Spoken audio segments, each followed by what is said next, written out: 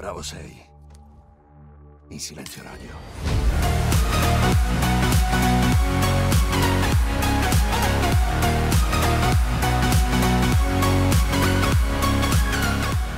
Eccoci e bentornati sul mio canale, nuovo video informativo giornaliero sul mondo di Call of Duty. Buongiorno ragazzi, vi aspetto alle 13.30 in live, piattaforma viola come ogni giorno per giocare insieme, per rispondere ai vostri dubbi e domande.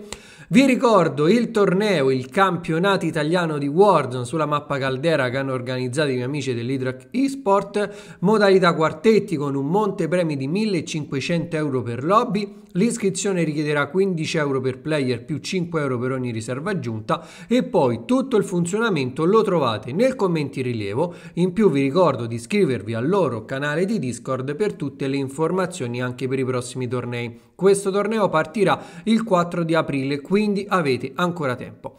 Se invece cercate ragazzi sconti, prezzi assurdi per i videogiochi, abbonamenti a prezzi stracciati, vi ricordo la mia collaborazione con enebba.com dove ho anche un codice sconto che vi dà un ulteriore 3%, troverete tutto quanto sul loro sito, dei prezzi veramente, ad esempio su PlayStation, assurdi, veramente dei prezzi vantaggiosissimi. Ma non ci perdiamo in chiacchiere e partiamo con il TG Code. Innanzitutto ieri è arrivato, o meglio, ieri vi avevo anticipato l'arrivo della patch 1.29 di Cold War. Vi avevo detto che sarebbero arrivati nuovi contenuti man mano che erano stati trovati nella patch 1.28.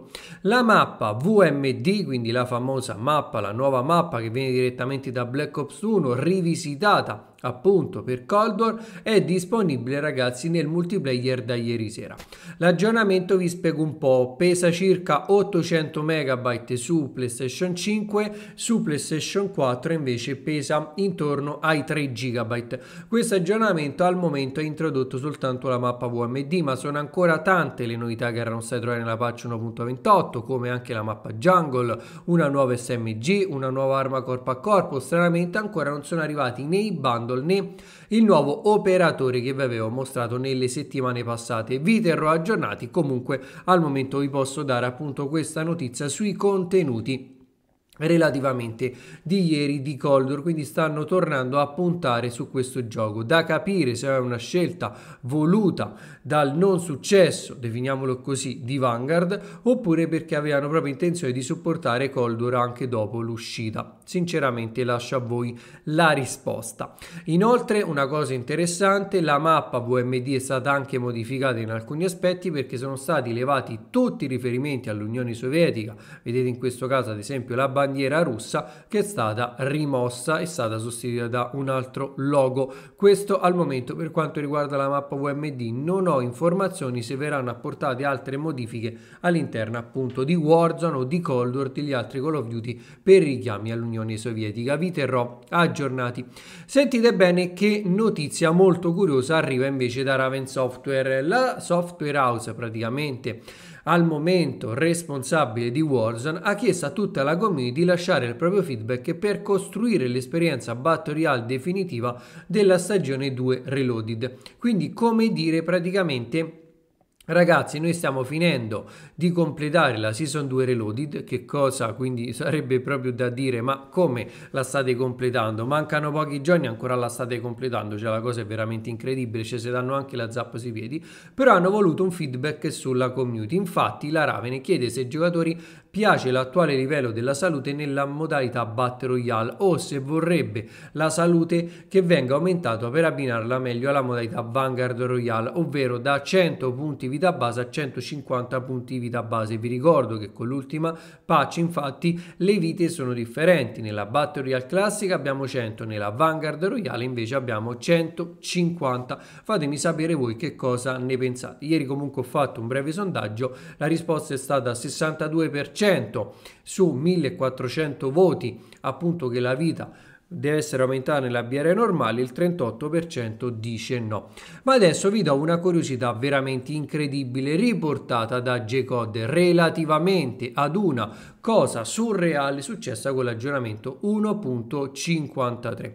Facciamo un attimo il punto della situazione perché se ben vi ricordate nella patch 1.53 c'erano state diverse modifiche alla meccanica del paracadutismo. Queste modifiche riguardano questi parametri. Ora, quando il paracadute è aperto, andrà alla stessa velocità in avanti e di lato. Ora può essere aperta ad un'altezza dal suolo inferiore. Ora può essere aperto leggermente prima, dopo essere usciti dal piano da cui ci si è buttati. Ed ora può essere tagliato quando è più vicino al suolo. Però è stato scoperto recentemente da diversi giocatori su Reddit che le modifiche al sistema di paracadutismo non sono state apportate portata a tutti gli operatori del gioco. Infatti, lo stesso J-God ha voluto approfondire meglio la questione e ha confermato che effettivamente è presente un problema. L'operatore Rose, come potete vedere, continua ad avere il vecchio sistema di paracadutismo. L'operatore Anne invece è stato aggiornato con il nuovo sistema di paracadutismo. Quindi, a quanto pare, alcune skin di Modern Warfare 2019 di Cold War continuano ad utilizzare il vecchio sistema, ovvero quello avente velocità 10.4 in avanti con il paracadute aperto, 6,4 con paracadute aperto verso il lato destro o sinistro, mentre il nuovo sistema permette di avere una velocità uguale in tutte le direzioni a 6 0,4. Quindi questo rappresenta uno svantaggio perché la velocità elevata porta ad una minor distanza percorribile con il paracadute aperto rispetto a chi usa un operatore che ha attivo il nuovo sistema. Inoltre è stato notato che questo problema influenza anche l'apertura di un paracadute ad un'altezza più bassa e sicuramente anche i cambiamenti apportati al paracadute con la patch 1.53. Ecco perché tante volte eh, quando appunto ci lamentiamo su Rebird che arriva di qualche istante prima l'avversario è perché sta utilizzando appunto una skin che non è stata fissata per quanto riguarda l'operatore. Per ora gli operatori che a quanto pare continuano ad utilizzare il vecchio sistema sono i seguenti: Rose, ovviamente skin più buggata della storia, e Nikolai. Naga, Weaver e Wright, quindi i primi due per quanto riguarda MV, gli altri tre per quanto riguarda Cold War. Tutti gli operatori invece di Vanguard funzionano al 100% del nuovo sistema, quindi vi consiglio di non utilizzare questi operatori o skin di essi fino a quando Raven non ne riconoscerà il problema e rilascerà un fix al riguardo. Notizia veramente molto curiosa per chiudere il TG Code relativamente ad MV2 perché continua ad aumentare l'hype relativamente appunto all'uscita di MV2. Infatti l'insider MV2G è tornato ad alimentare l'hype per il nuovo titolo con un post che fa promettere molto bene. Tutto quello che ho intenzione di dire è aspettatevi l'inaspettato. Quindi continua sempre di più ad hypare la community e sono veramente molto curioso di quello che vedremo appunto con il sequel di MV 2019. Questo era tutto quello che volevo dire nel nuovo TG Code giornaliero. Vi aspetto ragazzi alle 13.30 in live piattaforma Viola. Domani ovviamente il nuovo video ore 7. Vi ricordo la mia collaborazione nebba.com. Troverete videogiochi del passato, nuovi videogiochi, abbonamenti a prezzi assurdi, scontatissimi. E noi invece ci vediamo domani ore 7 qui su YouTube con un nuovo TG Code.